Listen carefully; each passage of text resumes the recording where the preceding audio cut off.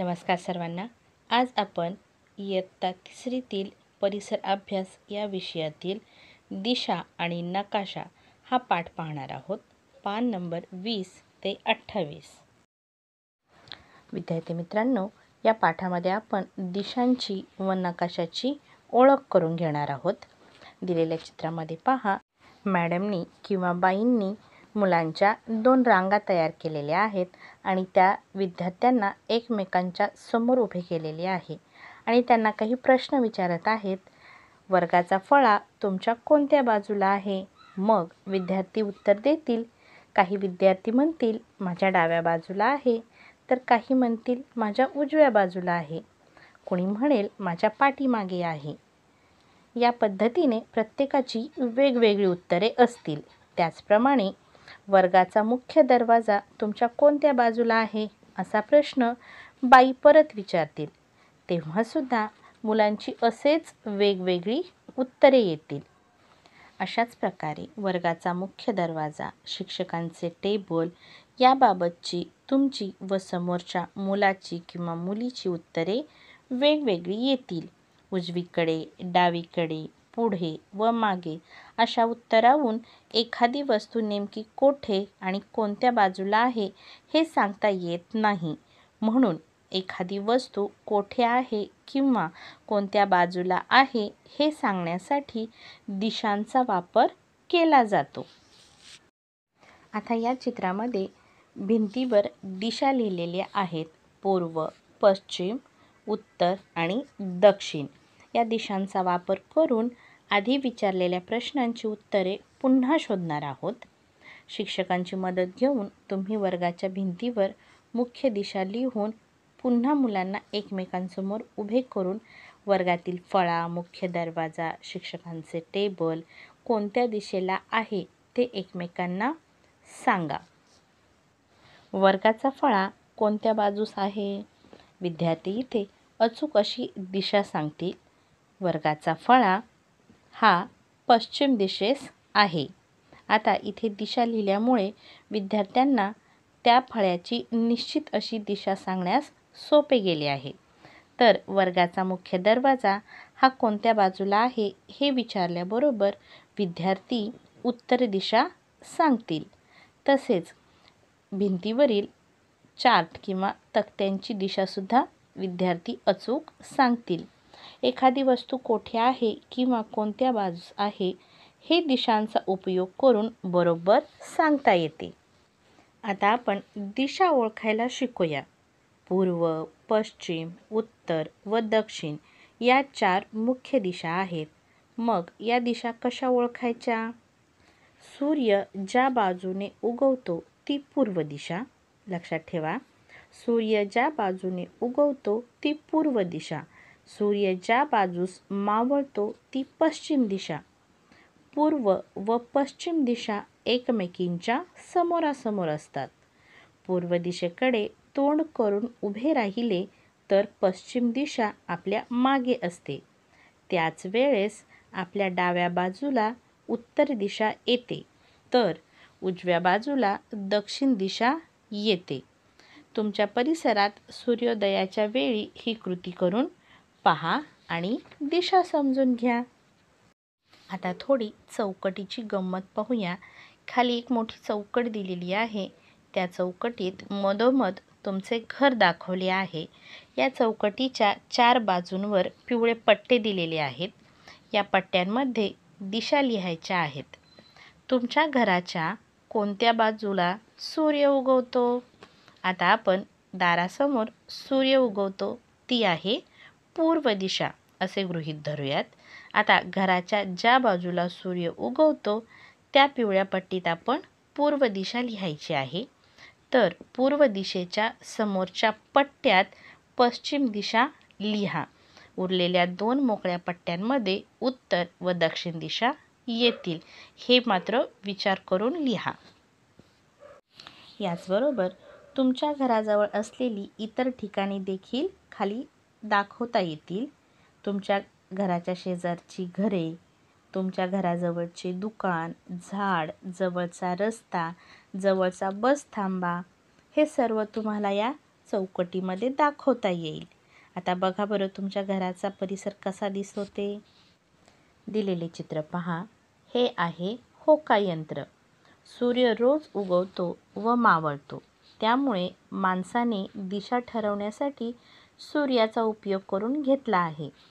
होका यंत्रामधील चुंबक सुई नेहमी उत्तर दिशा आणि दक्षिण दिशा दाखवते. नेहमी पर्यटन करणारे किंवा समुद्र प्रवास करणारे जे लोक असतात ते नेहमी या होका यंत्राचा वापर करून दिशा ठरवत असतात. तुम्ही देखील शिक्षकांच्या किंवा पालकांच्या मदतीने हे होका यंत्र पाहू शकता. आता नकाशामधील दिशांचा वापर कसा करायचा ते पाहूयात. नकाशामध्ये दिशा दिलेल्या असतात.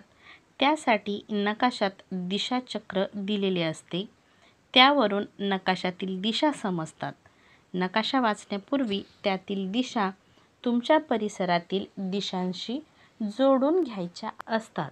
उदाहरणार्थ नकाशातील पूर्व दिशा ही परिसरातील पूर्व दिशेशी जोडून घ्यावी लागते. असे केल्यामुळे नकाशामधील ठिकाणे नेमकी कोणत्या दिशेला आहेत हे तुम्हाला लगेच कळेल. पाठ्यपुस्तकातील नकाशे वाचतानासुद्धा हीच पद्धत वापरा.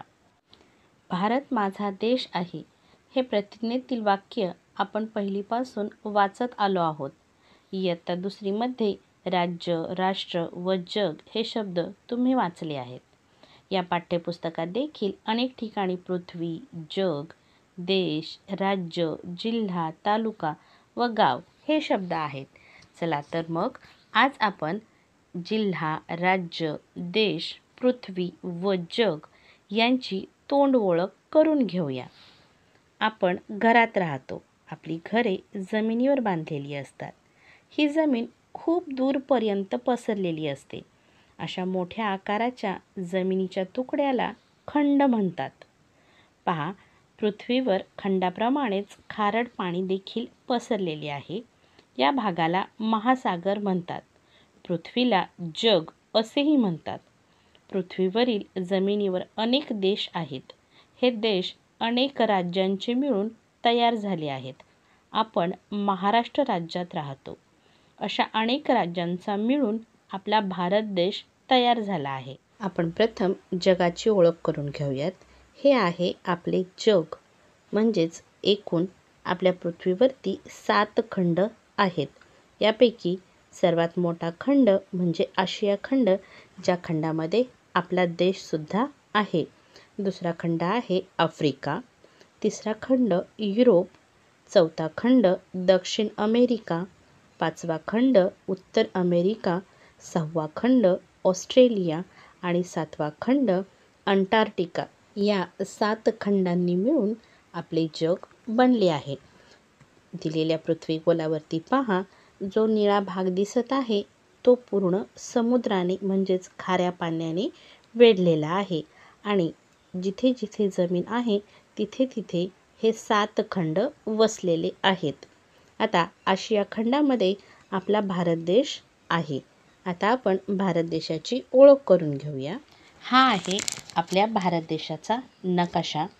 आपल्या भारत देशामध्ये एकूण एकोणतीस घटक राज्य आणि एकूण नऊ केंद्रशासित प्रदेश आहेत.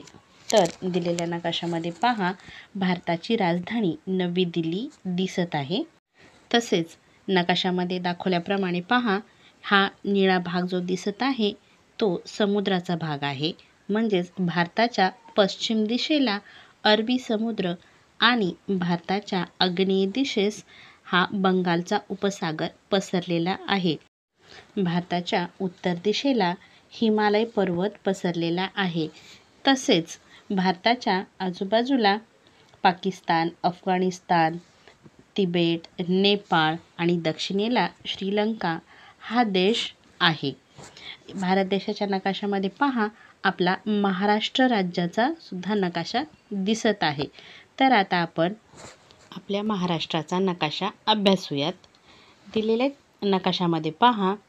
प्रथम आपण सूची पाहूयात. त्याच्यामध्ये राज्यसीमा जिल्हासीमा राज्याची राजधानी राज्याची उपराजधानी दिलेली आहे. पहा महाराष्ट्राच्या नकाशामध्ये आपली राजधानी दिसती आहे मुंबई. महाराष्ट्रा राज्याची निर्मिती ही एक मे एकोणीसशे साठ रोजी झालेली आहे. सद्यस्थितीला महाराष्ट्रामध्ये एकूण छत्तीस जिल्हे आहेत. महाराष्ट्राच्या पश्चिमेस अरबी समुद्र पसरलेला आहे. तर महाराष्ट्राच्या शेजारील राज्याची माहिती घेऊयात. महाराष्ट्राच्या पश्चिम दिशेला गुजरात आहे. तर दक्षिण दिशेला गोवा. उत्तरेकडे मध्य प्रदेश. तर पूर्व दिशेला छत्तीसगड. हे राज्य आहेत. आता दिलेल्या महाराष्ट्राच्या राज्यामध्ये आपला जिल्हा शोधायचा आहे आपला जिल्हा आहे हिंगोली. तर आता आपण हिंगोली जिल्ह्याची माहिती पाहूयात. हा आहे हिंगोली जिल्ह्याचा नकाशा. हिंगोली जिल्ह्यामध्ये एकूण पाच तालुके आहेत. हिंगोली कळमनुरी सेनगाव औंढा आणि आपले वसमत. यापैकी आपण वसमत या तालुक्यामध्ये राहतो. आपल्या जिल्ह्याच्या सीमेला लागून असणारे जिल्हे आपण पाहणार आहोत. वाशिम यवतमाळ नांदेड परभणी जालना आणि बुलढाणा हे जिल्हे हिंगोली जिल्ह्याच्या सीमेलगत आहेत. तसेच या हिंगोली जिल्ह्याच्या नकाशामध्ये आपल्याला आपल्या गावाचे सुद्धा नाव दिसणार आहे. टेंभुर्णी हे गाव इथे नकाशामध्ये दिसत आहे. त्याला आपण गोल करणार आहोत. याच पद्धतीने आपण जग देश राज्य जिल्हा तालुका आणि आपले गाव या नकाशामध्ये शोधलेले आहे. नकाशाच्या मदतीने समजून घेतलेले आहे.